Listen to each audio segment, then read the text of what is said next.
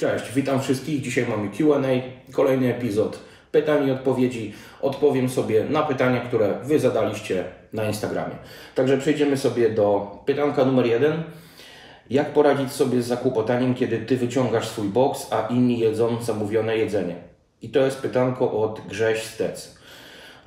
Przede wszystkim większość lokali, do których idziemy, no chyba, że idziemy na kepsa czy na totalne śmieci, E, ma możliwość zrobienia czegoś lub jest w menu coś, co możemy wpasować bardzo blisko naszego makro. Możemy zamówić grillowanego steka, e, rybę, kurczaka. Jeżeli nie mamy węgli w posiłku, możemy wziąć do tego sałatkę. E, to jest wymówka. Uważam, że w większej mierze jesteśmy w stanie to ogarnąć i nie zamykać się w domu, nie unikać kontaktu ze znajomymi do wyjścia na miasto, żeby się zintegrować, bo jest to bardzo ważny element psychologiczny. Tak, żeby się nie zajechać, nie przybrać e, stylu życia mnicha, że chodzimy tylko i wyłącznie na siłkę, nie wychodzimy na miasto.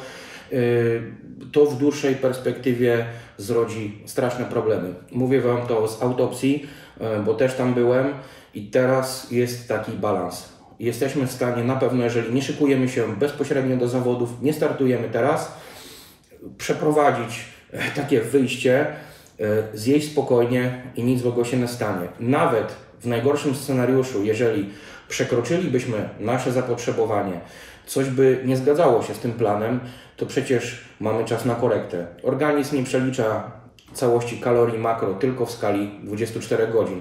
A tu tak naprawdę, przepraszam, chodzi nam o naszą głowę. Bo ja rozumiem, że jeżeli podążamy danym planem, to czujemy się dobrze psychicznie, że robimy wszystko na 100%. Więc E, troszkę więcej luzu. Ok, pytanko numer dwa. Mm, po zawodach odbicie czy odpoczynek według Ciebie? E, cel to maksymalny progres w 6 miesięcy. Draga z Daniel. E, Daniel, słuchaj, moim zdaniem odpoczynek. Zdecydowanie odpoczynek. Jak długi? Tutaj kwestia jest y, względna. Może to być miesiąc czasu, może to być półtorej miesiąca. Zależy jak długi był sezon okres po prostu startowy i jak mocno wyeksploatowaliśmy nasz organizm. Bo w momencie jak nasze jelita nie pracują spoko, no bo przecież przykując się do zawodów, jesteś zawodnikiem, bo wiem, no tutaj na pewno szły orale. E, szedł tren, szły orale, e, do tego mamy wyeksploatowany układ nerwowy, nadnercza organizm nie jest przygotowany, żeby bombardować go Zwyżką kaloryczną, cięższym treningiem, bo nie będzie responsywny, nie będzie chciał odpowiadać. Warto podejść do tego jak szachista, takie 4 tygodnie, powiedzmy 4-5 tygodni, gdzie odpoczniemy, czyli teoretycznie zrobimy krok do tyłu, da nam 5 kroków w przód. Ja, się, ja sam te błędy robiłem na początku i teraz po czasie widzę, że nic dobrego z tego nie wychodzi. E, finalnie waga, wygląd sceniczny później w momencie, kiedy od razu pchamy wszystko na maksa, nie wychodzi wcale lepiej. Organizm nie będzie chciał reagować w takim stanie. On musi mieć warunki do odpoczynku, do regeneracji. Ma być mocny bodziec w postaci treningu i tylko tak to będzie funkcjonowało. Dobra, pytanko numer dwa mamy i przejdziemy sobie do pytania numer trzy. E, skutki uboczne bycia kulturystą. Hmm. Co Ciebie najgorszego spotkało w tym sporcie? E, pytanie od zdrowie na haczyku. Kurde, ciężki temat. Skutki uboczne bycia kulturystą. Mm, mogę powiedzieć o swojej przeszłości, jak to wyglądało wcześniej. E, przede wszystkim e, alienacja, e, wyobcowanie takie, jeśli chodzi o społeczeństwo, od znajomych, z którymi utrzymywałem więzi przez bardzo długi czas, ale z racji tego, że mój grafik treningów, diety nie zgrywał się z ich grafikami, ciężko było to utrzymywać na takiej samej stopie, jak było to wcześniej. Ktoś może powiedzieć, a co to za Twoi znajomi, jeżeli Cię nie rozumią. No, słuchajcie, to też trzeba coś dać od siebie. To nie jest tak, że y, będziemy tylko i wyłącznie brali i wszyscy będą y, przez y, rok, dwa lata, pięć znosili nasze humory. E, nie wyjdę, bo, no bo wyjdziecie znowu coś zjeść, wyjdziecie na imprezę, to ja pójdę lepiej na siłkę. I ja nie chcę też brzmieć jak ktoś, kto imprezuje, kto w ogóle nie przestrzega takiego stylu życia, ale to, jest, to są problemy, z którymi większość z nas się w pewnym etapie styka. Musimy sobie to wybalansować. Jeżeli chodzi o taką sferę, gdzie spotykamy się ze znajomymi, i sferę, gdzie mamy czas na trening i na progres. Także to był największy problem, z którym, z którym musiałem się zmierzyć. Kolejna kwestia to były relacje z jedzeniem. Relacje z jedzeniem, no tu jest problem. Im bardziej łapiemy bakcyla, widzimy jakiś rezultat, no to wiadomo, tym bardziej chce nam się przestrzegać dany plan, trzymać sztywno.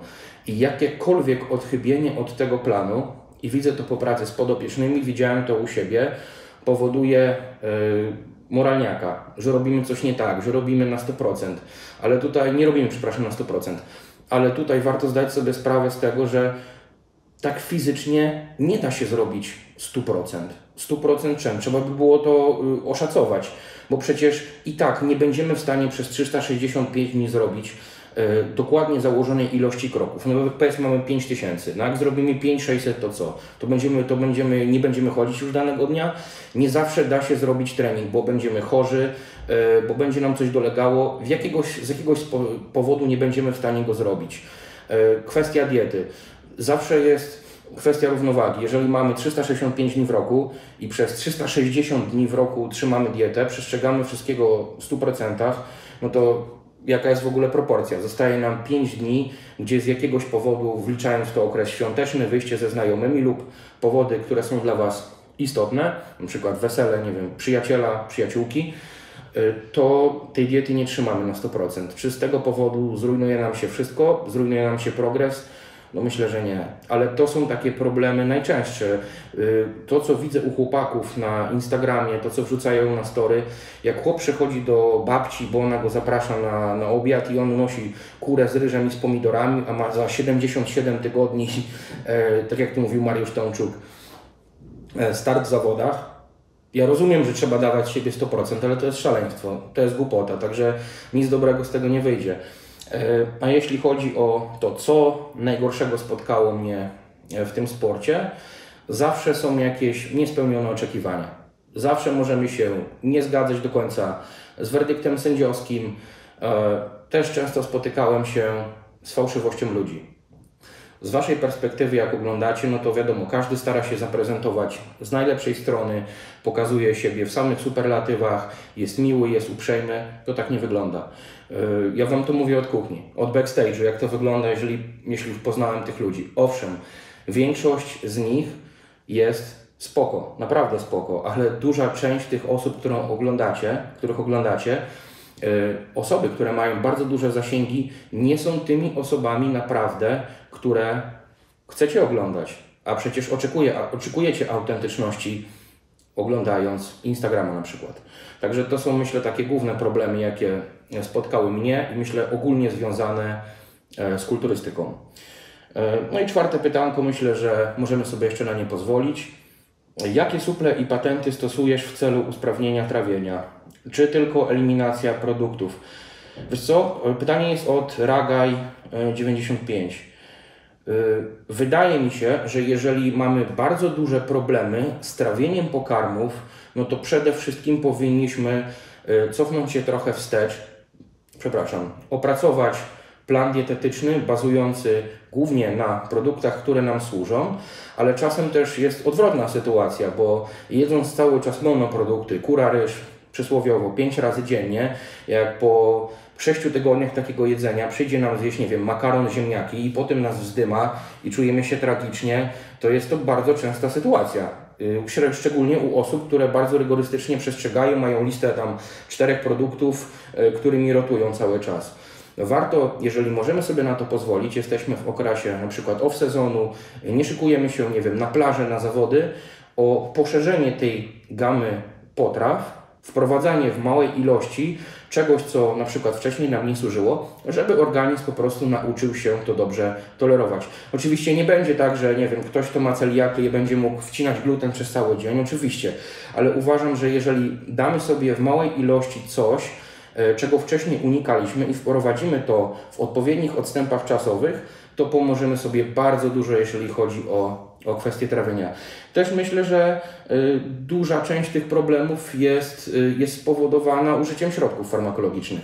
Y, trzeba sobie to powiedzieć wprost, szczególnie środki oralne, szczególnie tren, bo jest bardzo popularny, to tak naprawdę niszczy kichy I tutaj to tak jakbyśmy, jakby nas na przykład ząb bolał i zamiast iść do dentysty, no to byśmy sobie wzięli, nie wiem, APAP.